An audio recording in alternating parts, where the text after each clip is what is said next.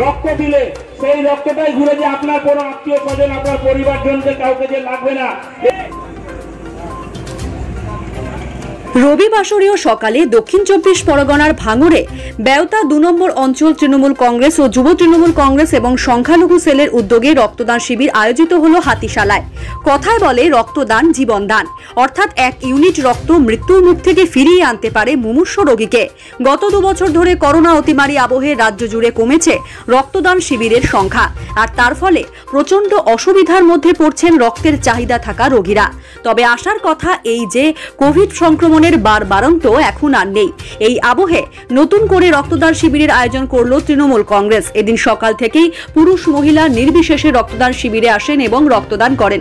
শুধু তাই নয়, এদিন উদ্যোক্তাদের মধ্যে অন্যতম ভাঙর দু নম্বর ব্লক সংখ্যালঘু সেলের সভাপতি মহাসিন গাজী সহ তৃণমূল নেতা সাবির মাস্টার এই শিবিরে রক্তদান করেন।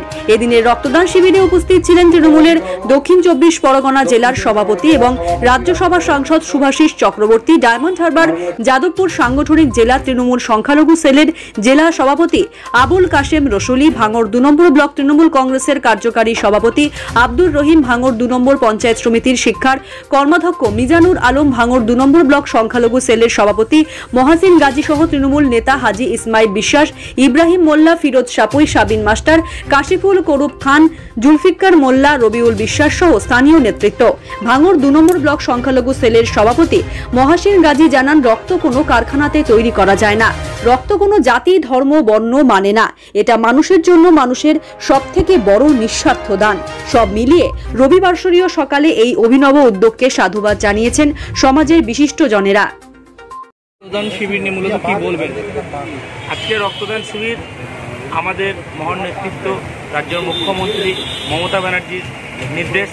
একুশে জুলাই যে আমাদের কলকাতার শহীদ স্মরণ, যে তেরো জনা তেরো তাজা যুবক যে মারা গেছে, তার জন্যে মমতা ব্যানার্জি একুশে জুলাই যে শহীদ স্মরণ, তৃণমূলের পক্ষে শহীদ স্মরণটা একটা আদতীয় মানে শহীদ স্মরণ দিবস হিসেবে যাতে ভাঙড় থেকে আমাদের বেশি বেশি গাড়ি যায়, ভাঙড় থেকে এমনিতেও প্রতি বছরে প্রচুর গাড়ি যায়, যাতে আরও বেশি মানুষ যায়। যার জন্য আমরা প্রতিটা জায়গায় রক্তদান করে মানুষকে বলছি যে একুশে জুলাইয়ের জন্য প্রস্তুতি হও, তৃণমূলের যারা কর্মী যাবে, আরও যারা মানুষ বেশি বেশি যায় তার বলার জন্য এই রক্তদানের উপযুক্ত করে, আর রক্তদানটা মমতা ব্যানার্জি করতে বলেছে তার কারণ সাধারণ মানুষের রক্তের জন্য যাতে রাজ্যবাসীর কোনো অসুবিধা না হয়। মমতা ব্যানার্জি বলেছে রক্তদান মানে মহৎ দান। রক্ত একটা সাধারণ মানুষের জীবন বাঁচিয়ে দিতে পারে। এই জন্য তৃণমূল কর্মীদেরকে আগামী দিনে নির্দেশ দিচ্ছেন যে রক্তদান প্রোগ্রাম আপনারা বেশি বেশি করুন বা নিজেরাও রক্তদান করুন। এইটা মমতা ব্যানার্জির নির্দেশ। যার জন্য আজকে আমরা এই সভাটা রক্তদানটা করেছি। যাতে একুশে জুলাই আমাদের বেশি লোক যায়। আর মমতা ব্যানার্জি বলেছেন আমাদের সাধারণ তৃণমূল যারা কর্মী তারা যাতে রক্ত দেয় এটাকে উজ্জীবিত করার জন্য আগামী দিনে আমরা আরও বেশি চেষ্টা করব। রক্তদান শিবির নিয়ে মূলত সাধারণ মানুষের উদ্দেশ্যে কি বার্তা? যে কোভিড পরিস্থিতি গত দুবার যে গিয়েছে তাতে রক্তের যে আকাল সেই আকাল যাতে ওয়েস্ট বেঙ্গলে না হয় রক্ত যাতে প্রয়োজন অনুযায়ী সবাই পায় তার জন্য মহান নেত্রী মমতা বন্দ্যোপাধ্যায় উদ্যোগ নিয়েছেন অনেক আগে থেকেই যে সমস্ত বুথে বুথে সমস্ত পঞ্চায়েতে পঞ্চায়েতে সমস্ত ব্লকে ব্লকে যাতে রক্তদান শিবির করা হয়। ইতিমধ্যে আমরা অনেকগুলো রক্তদান শিবির অলরেডি ভাঙর দু নম্বর ব্লকের বিভিন্ন অঞ্চলে বিভিন্ন বুথে আমরা করেছি। তারই একটা আজকে ফের আরেকটা রক্তদান শিবির আজকে সিক্স লেনে গত দু নম্বর পঞ্চায়েতের উদ্যোগে আজকে অনুষ্ঠিত হয়েছে এবং এখানে প্রচুর লোক রক্ত দিয়েছে। বিগত দিনে মহাসিন্দার নেতৃত্বে ওখানে বামনঘাটে একটা হয়েছিল, সেখানেও প্রচুর লোক রক্ত দিয়েছে।